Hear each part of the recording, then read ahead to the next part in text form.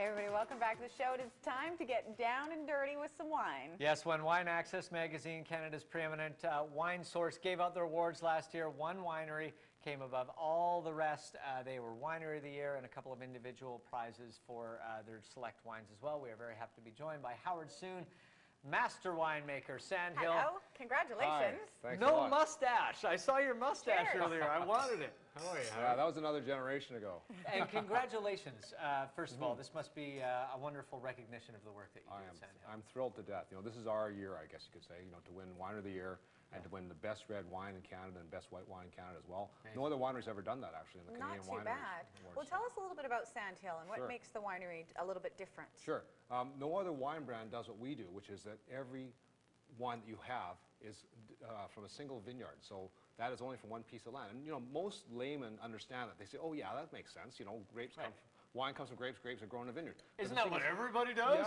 Yeah, but, but most wineries don't tell you where the grapes are grown. They don't tell you whose vineyard it is and where the soil is. And most, vine- most wineries actually blend the vineyards together because it's easier and, and makes the wine actually less distinctive but sometimes better tasting. Right. We believe in, in showing the distinctiveness of where the grape is grown. Well, let's start with this one, and maybe you can walk us through, uh, because we do have a dirt sample for each wine. Maybe tell us a little bit about this wine and Sure the thing. dirt. We'll get down to the dirt. Okay. Let's so get that's our dirty. King family vineyard that you see, the soil there, and it's kind of heavy and dark. Yeah. It's got some clay in it. It's uh, been grown for four generations of farmers, and they, these are the, the fourth generation, the king of the kings, Rod and Marge, are the first ones to grow grapes instead of apples. They chopped all the trees out. This is 40 acres, so Yeah. it's a major That's undertaking. huge. rest of the family yelled at them for, I'm sure, a little while, and where was a go. bit of a risk. Uh, but you have to. I, I- I mean, there's this term in wine and, and, uh, and terroir, but Terroir, I yes. always assumed that it was only the soil. But you were telling me it's, it's significantly more than that. Yeah, it's a French term, but it's the only thing we can, we, the word we can use to capture what this is about. So it's, it's a sense of place that you taste in the wine. And that sense of place encompasses where the grapes are grown, the vineyard, but also encompasses the soil, the climate, the rainfall, the sunlight, the heat, moisture, um, knowledge of the grape grower, knowledge of the winemaker. So there's no uh, nothing. Nothing changes Yeah. within all that No, formula. it's really, been like that for year. centuries, actually. So No. we're going to taste this Pinot Gris right now. So what should we be looking for on the nose and when we Sure. taste it? Okay, this is a beautiful Pinot Gris. It's grown in a very cool area. In the, it's just south of Naramata in Penticton. So we smell it. You get this really nice, intense, ripe apple smell, mm-hmm. Very don't you? fresh and crisp. Fresh, yeah. good. I love that. That's what we were after for you. And that's why it's got a small screw top on it, actually, because it keeps the wine fresher.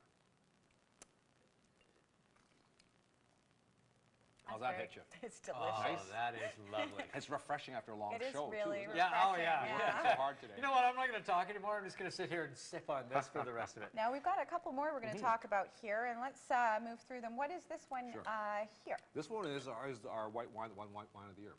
Best, best white wine in Canada. Uh, it's a And it's a Viognier. Viognier. Viognier. We, let's, why don't we dump our glasses up and we'll try that Yeah. one Why now. don't we? Well, okay. I'm, I'm in. So what I- would we be looking You for can save on that a... for later if you like, Mike. Okay. You'll be drinking it all. What do we look at? How, how is a Viognier different from Ladies the Pinot first. Gris?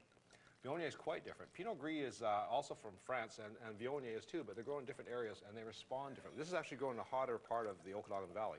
This is in the Oliver area. And you can see subtle differences uh, Yeah. even in the uh, in the soil a little Yeah. more. You can see it's more sandy. Yeah. Feel it up. Feel it. Uh, get your fingers in there. Feel it. Oh, yeah. Oh, Feel it. yeah. Eat it. It's kind of gritty. You're soaking it, yeah, and it's got a little bit of uh, it sticks together. It's got a little.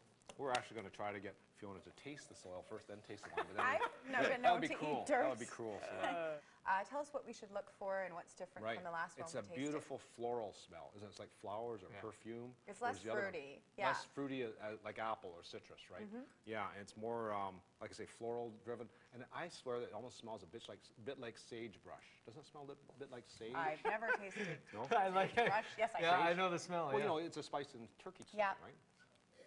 Little herbal, really herbal. yummy. Isn't that neat? Mm-hmm. And the, the, the judge, they, they actually captured the judge's comments when Oh, he won this wow. award. And it says, I could hardly stay in my seat when I smelled this Wow. wine. And that's why we're standing up, right? That's, inc- that's incredible. It does have mm-hmm. almost a, a little bit of a spice to it mm-hmm. uh, in the flavor as well. And in Right. That's really, really. Isn't that nice? Yeah. And it's not sweet. You think Very it's going to be sweet when you distinct. smell It's it, not. but it's not. It's very smooth. yeah. I Okay, can get let's- down a whole bottle and never know. Oh, well, let's, let's do it. Okay, now let's move on We'll on call it to work. The reds here. We've got Absolutely. a lovely Merlot. Tell us about this one. Just one more This sip. Merlot's. See, you can't let go. I know, it's a shame to dump it out, isn't it?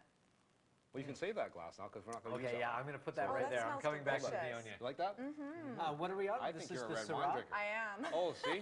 It appeals to you right away, right? It does. And that It's- means we've fulfilled our mission. We've done what we we Absolutely. wanted. Uh, tell us about the Merlot. Well, this is lovely. It's got this beautiful ripe plum smell to me. Mm-hmm. Red fruits, plums, uh, even a little bit of raspberry, but mostly plum, which is I- ripeness. You know what? You can really actually see a huge difference between, uh, especially uh, with the Pinot Gris and then into the Syrah You can as see the dust coming off it when you Yeah, a drop lot it in more there, right? sand. So this is a much drier, hotter area of the. Uh, It is. It's almost close. To, you can see the U.S. border from there.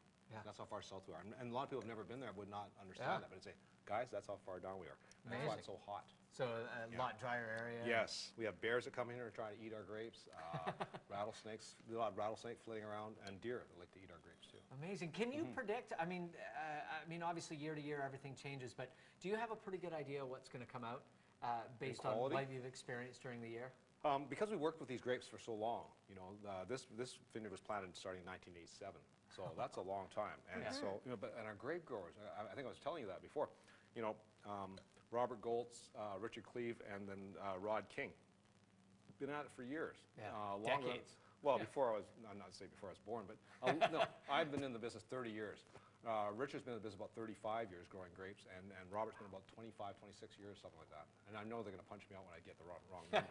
but that's how long they've been at, longer than anybody else in the Okanagan. So those kind of guys, they've seen it all. Yeah, so they understand what's going to happen during the And year. there's so they huge can trust for me in, We in have what to they do. quickly touch on this one here. We don't have a lot of time, but uh, Okay. tell us about this one. Um, that one's the Sandhill One. Uh, the, the award-winning red wine of the year was a Syrah from the same vineyard. This is only a little seven-acre vineyard in, in Richard Cleave's front yard.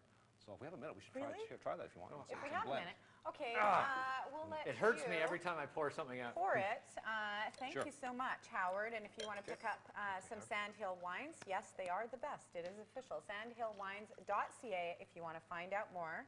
Cheers to you. Congratulations and to the once winery. again. Congratulations. And we're going to tell you that tomorrow on the show, uh, Mikey and I got the chance Mm. to visit Bob Rennie's new art gallery in Gastown and get a private tour.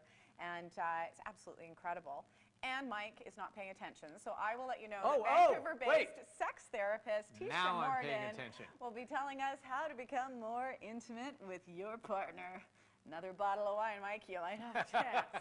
I wonder if wine plays into it. It must. Uh, we're going to leave you with uh, a song from Thornley today. They're playing Saturday, January 23rd at the Commodore. The song we're going to leave you with is called Make Believe. We'll see you again tomorrow.